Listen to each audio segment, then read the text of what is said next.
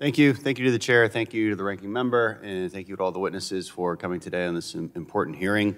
Um, look, I think uh, even the most limited government conservatives do think that uh, the government has a role in keeping everyday Americans safe and with, uh, with safe drinking water. Um, now, it, and there's communities in my district, for instance, like Tamina, uh, don't have clean water. Uh, my office is dedicated to helping that community get the water that it needs. Um, but along that same theme, there's, there's a key component in keeping uh, drinking water safe, which is chlorine. And last year, there was a brief supply disruption in the production of chlorine. It resulted in several communities sporadically losing access to chlorine products and requiring an abundance of boil water notices across the United States. Administrator Regan was so concerned about the communities losing access to chlorine that he actually sent an urgent letter to the chlorine manufacturers reminding them that chlorine is used in the overwhelming majority of water systems and that they need to prioritize getting those shipments out the door. I'll submit this letter for the record. But that same EPA also advocated so strongly um, against the processes that create chlorine in the first place. Support chlorine, but just not how to make it.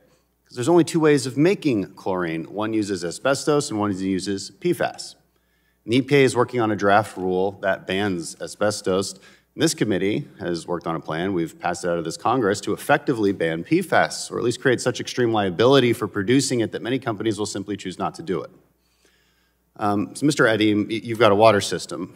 Uh, you use chlorine, do you not? And uh, what, what, what do you make of this? What do you make of this? Uh, chlorine is, thank you, um, Congressman. Chlorine is crucial to our treatment process um, to provide safe drinking water.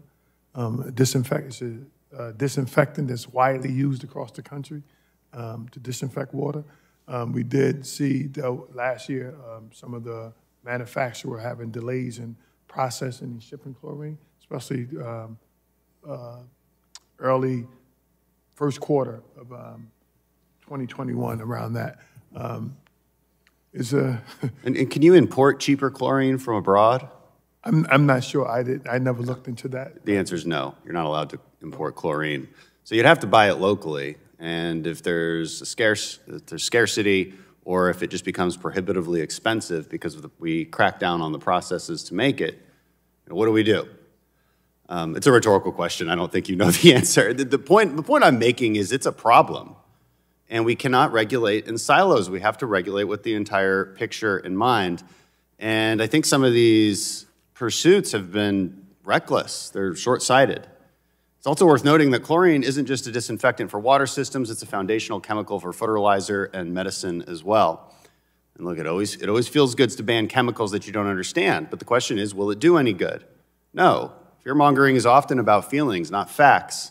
And in this case, it could have serious consequences. Healthcare will be more expensive, food will be more expensive, water will be more expensive, because that's what happens when you create scarcity via excessive government regulations, increased costs. And so I asked the committee today, with inflation being the number one problem facing everyday Americans, maybe we do away with this short sighted crusade to effectively ban the very chemicals that we need the most.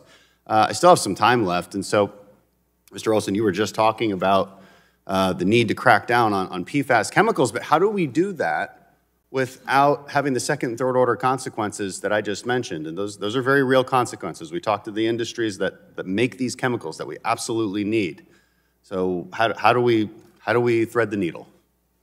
Well, I was speaking to the need to uh, make sure that they're not in the drinking water, to filter it out of the drinking water before people drink it.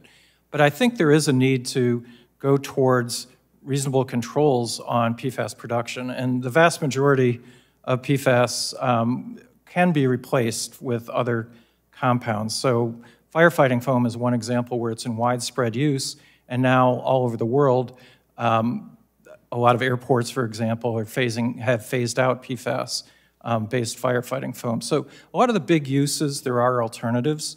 There may be some crucial, um, absolutely essential uses that need to be re retained until we can find out if there's an alternative, but the basic problem is we're seeing a lot of profligate. And I, and I just mentioned one of them. But those companies that, that make the, the PFAS membrane that will create chlorine, they will not do it when they are faced with trillion dollar liabilities because of being regulated under CERCLA. So is this the right step to take? Well, I- what I'll say is if you're contaminating somebody's drinking water with PFAS, you ought to be responsible. But they're not. They're sure making chlorine.